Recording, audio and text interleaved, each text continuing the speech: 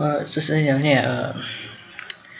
វីដេអូថ្ងៃនេះយើងនិយាយពី Android ដែលយើងសិក្សាទៅលើប្រភេទ database ដែលវាជាប្រភេទ SQLite អញ្ចឹងខ្ញុំសូម introduction ខ្លួនឯងតិចអឺ YouTube channel របស់ខ្ញុំវាចិត្ត developer ហើយ Facebook page របស់ខ្ញុំគឺចិត្តបើ Facebook profile គឺវាចិត្តអញ្ចឹងបើអ្នកនរគ្នាមានចង់មើលវីដេអូតទៅនឹង មាន Android ឬមួយក៏តកតងនឹងអ្វីចំណេះដឹងផ្សេងផ្សេង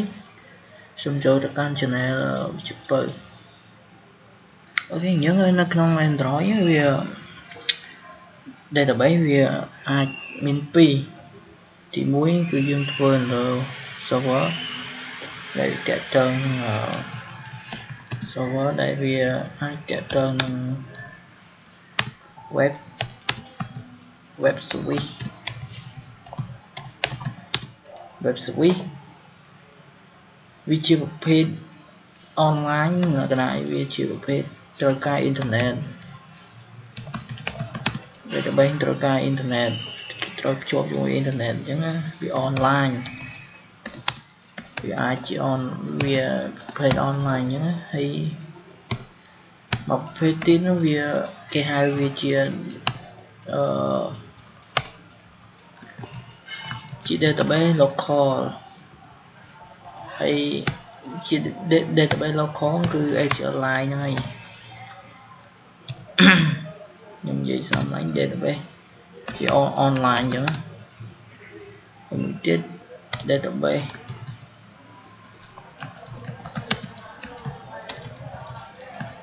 database local អឺវាគេ ដែលដែលយើងនិយាយតិចទៀតហ្នឹងគឺ HLI ហ្នឹង HLI ហ្នឹងហើយហើយ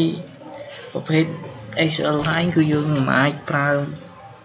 ជាមួយអ៊ីនធឺណិតបានទេគឺវាអត់អាចប្រើមិនមែនថាយើងមិនអាចប្រើបានទេគ្រាន់តែវាអត់តាក់ទងអីមួយអ៊ីនធឺណិតចឹងណាអត់តាក់ទងមួយអ៊ីនធឺណិតទេវាបាននៅលើ local របស់យើងឯង តយើងបៀលនៅ app មួយអញ្ចឹង upload ចូល App Store ឲ្យគេ download ប្រើយើងទៅអញ្ចឹង user អត់ត្រូវការមានអ៊ីនធឺណិតដើម្បីប្រើ app យើងទេគ្រាន់តែយើងគ្រាន់តែគេ download ទៅប្រើនៅលើ local machine ប្រើទៅលើ device computer device ទូរស័ព្ទរបស់គេអត់អត់មានចាំបាច់ត្រូវការអីណាយអ៊ីនធឺណិតអីទេហ្នឹង database local HLI យើងនឹងយើងនិយាយទៀតហ្នឹងហើយការងារដែលខ្ញុំចង់ធ្វើហ្នឹងការបង្កើត working ការបង្កើតនៅ create HLI ទី2ខ្ញុំចង់និយាយពីការ custom ការ custom review ហើយអឺ យក review ហ្នឹងហើយយកទី data ពី HLI ហ្នឹងទៅដាក់នៅក្នុង custom review ហ្នឹងអញ្ចឹងការងារខ្ញុំចង់ធ្វើខ្ញុំលីឲ្យ select data from H HLI display in custom review ហើយយើងមាន insert data to HLI យើងមាន update data to HLI ដូចគ្នាយើង delete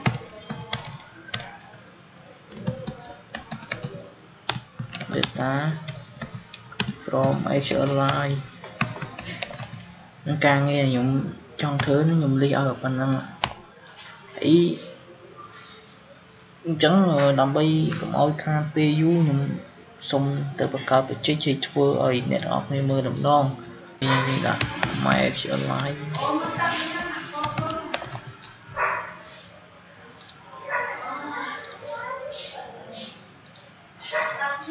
អ khê trong nick này bốn.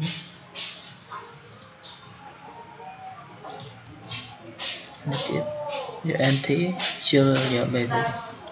bây dịch vì nhẹ nhẹ giờ Đấy, xây nhẹ nhẹ nhảy câu trở trên b. Cho nãy giờ ừ. mẹ thì thì ok nhưng ở video thì muốn vậy ca và cá online.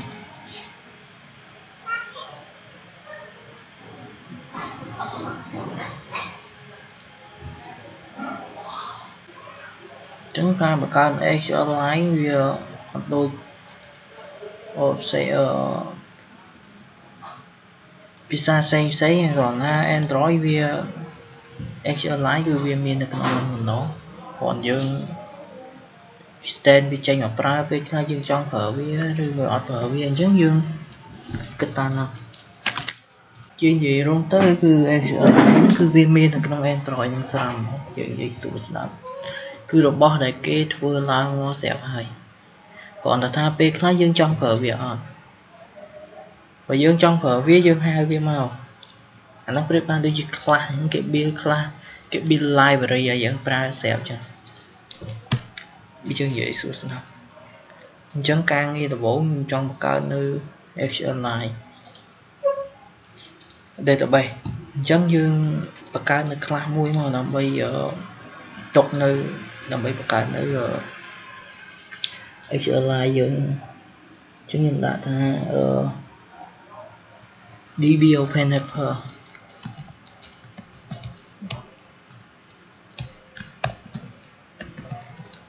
ក្លានេះវានេះយើងចង់ដាក់ឈ្មោះអីក៏បានដែរអូខេ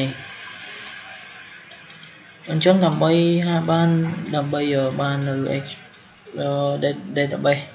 XLI មកប្រើយើងត្រូវ extend ខ្លះវាចេញមក extend អឺអឺដូចជា XLI open helper អូខេអញ្ចឹងយើង extend XLI open helper វាមកអញ្ចឹងនៅពេលយើង extend ហើយវាឲ្យយើងអឺអឺ implement នៅ method របស់វាពីរ on create និង on upgrade ហើយខ្ញុំនឹងនិយាយតាមក្រោយនឹងអាពីរហ្នឹងថាវាមានមុខងារមិនណាខ្ញុំនឹងនិយាយតាមក្រោយវា extend ចេញមកវាវាត្រូវការនៅ constructor មួយទៀតវាឲ្យយើង implement នៅ constructor វាមួយទៀតយ៉ាចេញណា constructor របស់វាអូខេយើងយកយកលើហ្នឹងមក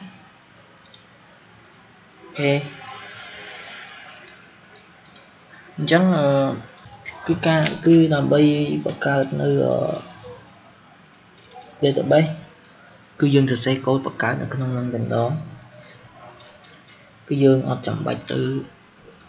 បង្កើតអីណាផ្សេងទៀតទេអញ្ចឹងយើងបង្កើតអស់គ្នា យើងបង្កើតនៅឈ្មោះ database អឺយើងបង្កើត public public pub public static uh, string នៃ database name ស្មើនឹង uh,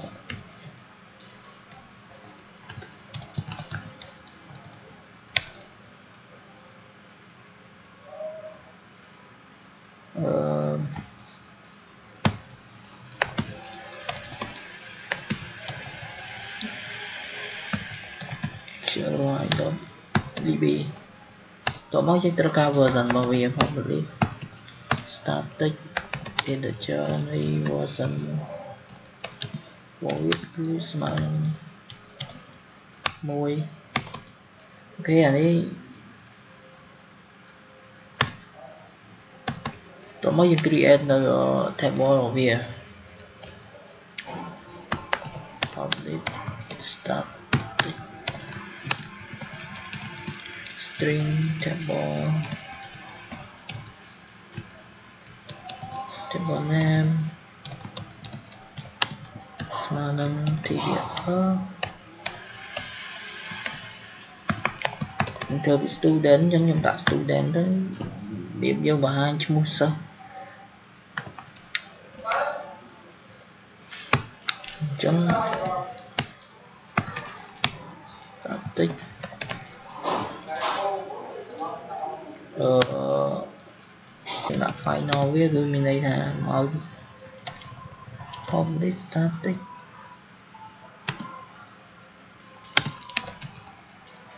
ន័យថាយើងយើងដាក់ fix ចម្លងហ្នឹងហើយឲ្យណាគេមកកែឲ្យយើងបងនេះ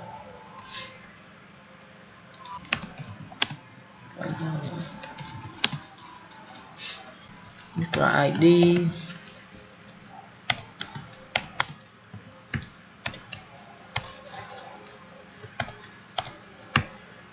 ស្មើនឹងអ s s underscore id ហើយ public static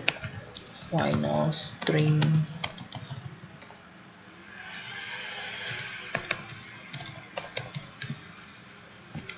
s name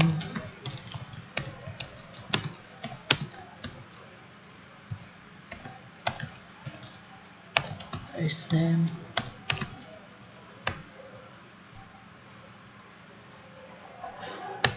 យកមកយើងធ្វើការ final ដល់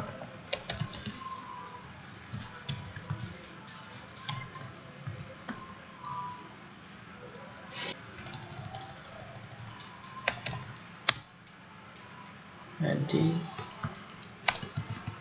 sa អូខេខ្ញុំតែប៉ុណ្្នឹងបានទេ ខ្ញុំចង់ដាក់ច្រើនអូខេ Whoa, integer 8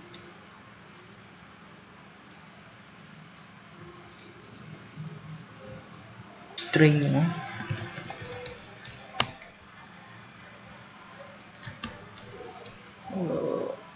S8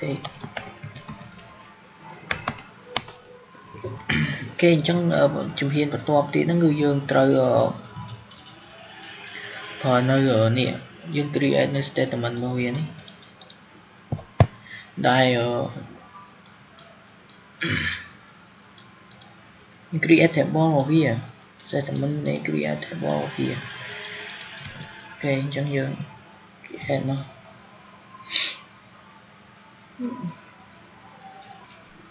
ចឹងអានិយាយថ្ងៃនេះតិចអានេះវាយើងអត់ត្រូវការអីច្រើនទេគឺអឺ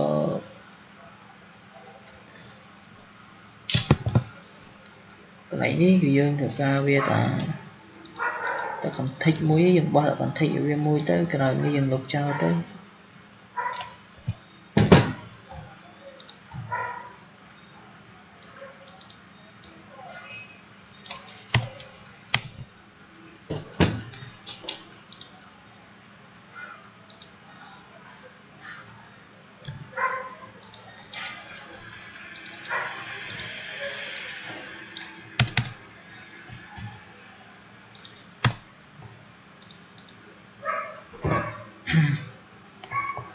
ហើយយើងបង្កើតនៅនេះ public starting final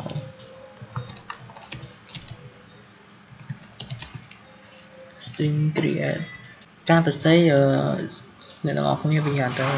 វិញកន្លែងនេះការសរសេរវាគឺញ៉ៃញ៉ៃតិចអូខេអញ្ចឹងតមកយើងធ្វើការបង្កើតនៅ database អញ្ចឹង នៅក្នុងចំណុចនេះគឺវានេះគឺ DB Open Helper វាជា constructor របស់យើងយើងត្រូវបោះ config ឲ្យវា config របស់វាហើយនឹង database name របស់យើងជាមួយនឹង null null នេះគឺវាអត់មានអីយើងយើងដាក់ null ទៅវាអត់ត្រូវការវាទេអញ្ចឹង helper version របស់វាអញ្ចឹងឥឡូវនេះ config ហើយនឹង database name ក្បៀស now ក្បៀស version របស់យើងដែលយើងបានបង្កើតពីលើនោះអូខេទៅតិចពេលតមក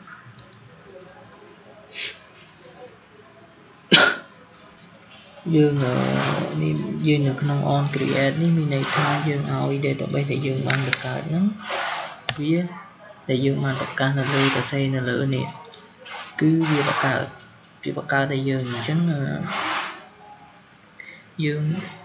សរសេរថានេះគឺ XLI ដែលវាប្រកាសវត្តរបស់យើង db នេះអញ្ចឹងយើងឲ្យ db មក dot execute អឺ XLI នៃ create table នេះដែលយើងបានកើត table យើង យើងបន្សេនលើយើងហៅត្រង់ចំណុចនេះយើងមិនបាច់ទៅសេអានេះក៏បានដែរយើងហាក់យើងនេះយើងហៅវាមកបើយើងចង់សេវាហ្នឹង db.execute ហើយយើងវាយ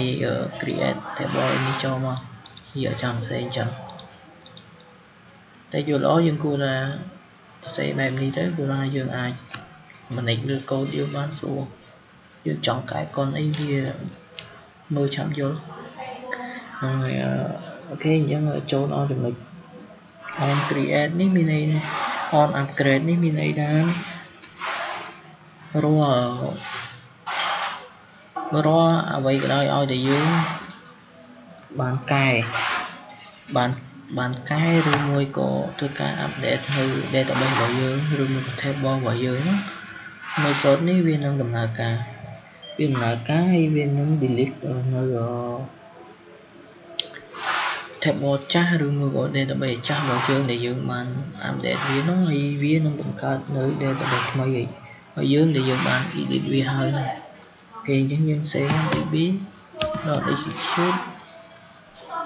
SQL នៃ drop drop table មាន drop table ចាស់ចោលហើយបង្កើតនៅ table ថ្មីឲ្យយើង ហើយវាបង្កើតនៅ table ថ្មីឲ្យយើងនេះមានន័យថា drop table នេះមានន័យថាវាដូច remove table ចាស់ចោលហើយនឹងបង្កើតនៅ table ថ្មីឲ្យយើងតោះមកយើងយើងហៅ on create មក on create មានន័យយើងឲ្យនេះ on create នេះវាជា method សម្រាប់ធ្វើការបង្កើតនៅ database បង្កើតនៅ table យើងអញ្ចឹងដល់ ដល់ពេលយើងហៅអាហ្នឹងហៅ on create មកមានន័យថាយើងហៅឲ្យវាបង្កើតឲ្យយើងសារថ្មីហ្នឹងណា db ហ្នឹងហើយចំណុចហ្នឹងគឺការបង្កើតនៅ database វាមានប៉ុណ្ណឹងហើយយើងសាកអាចអាចធ្វើការ log វាសាកក៏បានដែរនៅពេលតិចទៀតខ្ញុំនឹងនៅវីដេអូបន្តខ្ញុំនឹងសាកតេស្តឲ្យយើងដឹងថាតើ database យើងបង្កើតហ្នឹងវាបានជោគជ័យអត់អញ្ចឹងវីដេអូក្រោយជួបគ្នានៅវីដេអូក្រោយទៀត